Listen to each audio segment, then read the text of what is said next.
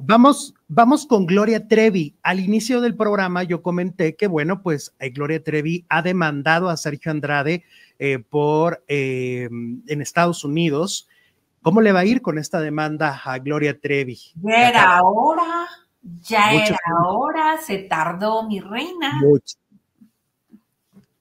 Ok.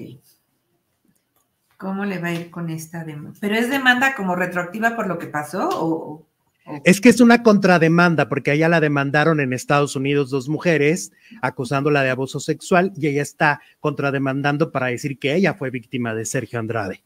Ya era hora.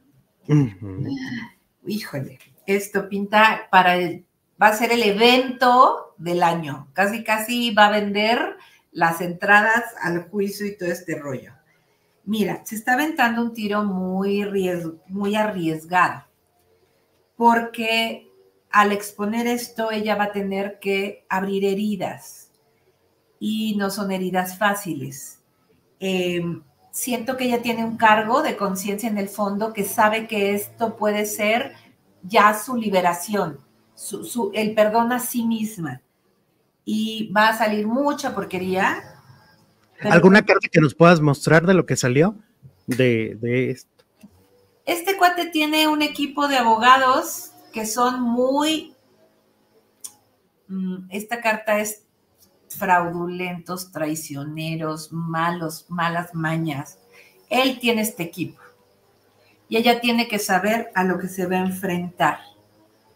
Pero siento que esto a ella le va a dar mucha ganancia en imagen, en público no sé si gane, ¿eh? lo veo, lo veo complicado, pero creo que en el fondo ella sabe que lo tiene que hacer. Pero si ve que los tiburones se empiezan a acercar y que me la empiezan a atacar, porque sí veo gente muy fea con la que se va a meter, este, a lo mejor ella se retracta. Y, y a ver, podemos ver a Sergio Andrade.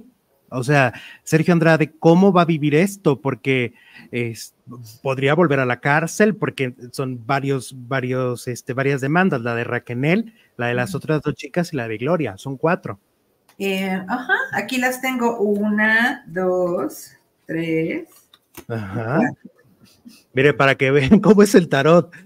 Sí, aquí está todo, toda la bola. Pero a él lo veo con un equipo de abogados muy rudos muy rudos, atacándolas por todos lados. Entonces, si ellas se unen, de verdad, en este momento la unión hace la fuerza, ellas podrían ponerlo contra la pared y no sé si ganar, porque no veo que ganen, pero sí veo que puede ser un espectáculo que les va a dar ganancias de otra forma, ¿no? Es quitarte un cargo de conciencia, hacer lo que deberías de haber hecho desde, el principio. Y aquí la fuerte es Gloria ella es la que puede apoyar y hacer un movimiento, híjole, que va a explotar padrísimo a favor de las mujeres.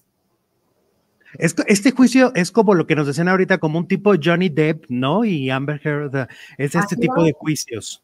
Así lo veo. Así lo veo. Em, no sé si Estados Unidos le tome ese, o esa fuerza, pero acá nosotros sí. Y a Gloria mucha gente la quiere. Entonces creo que ella puede dar ese paso para ya quitarse esa cosita que tiene clavada en el corazón. Yo no digo que no haya sido víctima, no, claro que lo fue, pero ella tampoco ha terminado de aceptar que participó en un círculo vicioso lastimando a más mujeres. Este es el momento de sanarlo. Claro.